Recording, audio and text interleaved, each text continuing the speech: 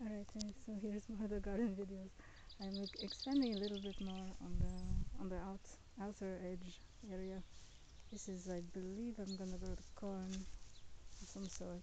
Not very much space, but this is a pretty pretty zone I made uh, with um, these are mounds of, of all kinds of things, of, of uh, rotten apples. but this has grown grown a pretty mache, so I'm kind of happy with it.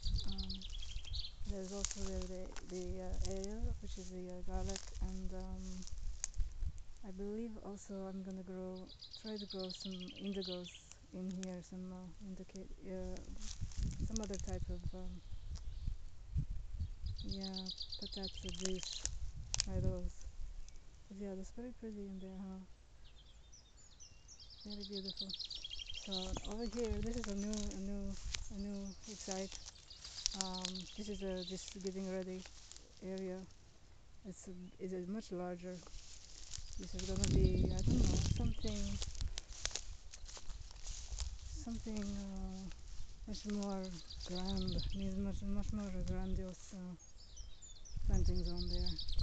So it's um, I don't know. All kinds of items could be put there.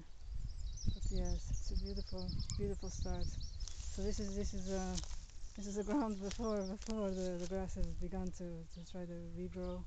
Try to remove as much as possible. And then over here, over here it lines the sides with um, the moss instead of the grasses.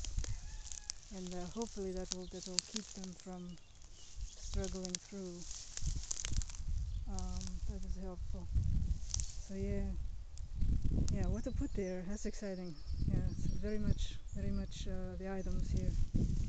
What to put there? Yeah. So anyway so there it is the happiness of, this little smiley. Yeah pretty happy with that it worked